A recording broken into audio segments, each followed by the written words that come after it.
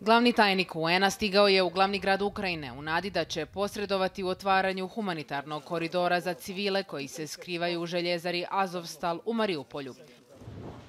Guterres je to nazvao krizom u krizi. Sastanak s predsjednikom Volodimirom Zelenskim, koji je trajao duže od planiranog, bio fokusiran na to pitanje.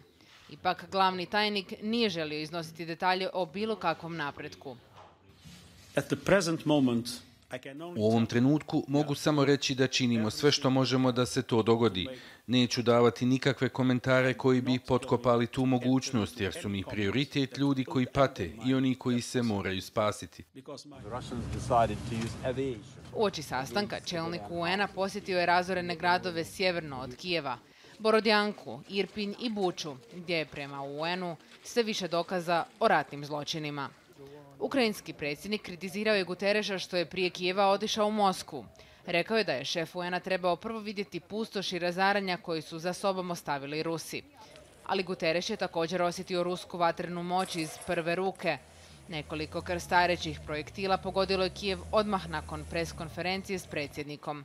Ovo je bio prvi napad na glavni grad u nekoliko tjedana. Za ukrajinskog predsjednika to je bio dokaz da se bez sigurnosnih garancija s Rusijom ništa ne može pregovarati.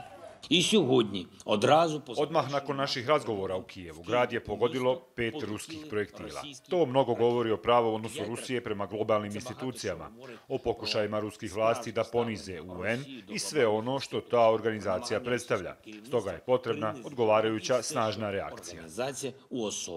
Bliski savjetnik predsjednika Zelenskog objavio je na Twitteru.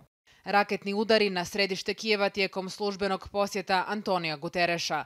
Dan ranije sjedio je za dugačkim stolom u Kremlju, a danas mu rakete eksplodiraju iznad glave. Razglednica iz Moskve. Pitamo se zašto ta zemlja još sjedi u vijeću sigurnosti UN-a.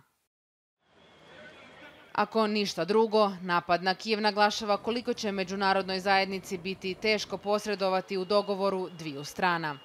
Za glavnog tajnika trenutačni prioritet je pružanje humanitarne pomoći Ukrajincima zarobljenim u ratnim zonama.